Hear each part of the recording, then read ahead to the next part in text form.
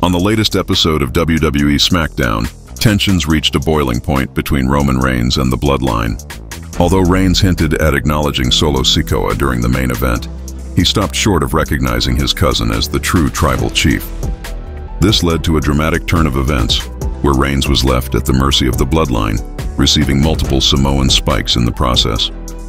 The night began with Reigns addressing the crowd, declaring that this might be the last time they would acknowledge him.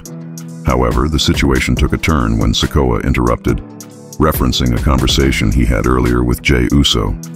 Reigns expressed doubt that the bloodline was truly united and acknowledged the struggles they'd faced over the past year. Hoping to mend the family's bonds, Reigns asked what it would take to repair the damage. Sikoa's response was simple. Reigns needed to acknowledge him. While Reigns did recognize Sikoa, he hesitated when it came to addressing him as the tribal chief. This moment of defiance caused tension to erupt, with Sikoa calling in backup. The bloodline appeared, dragging out a beaten Jimmy Uso, which served as a distraction for Sikoa to attempt a Samoan spike. Reigns fought off the attack, but ultimately fell victim to a vicious assault.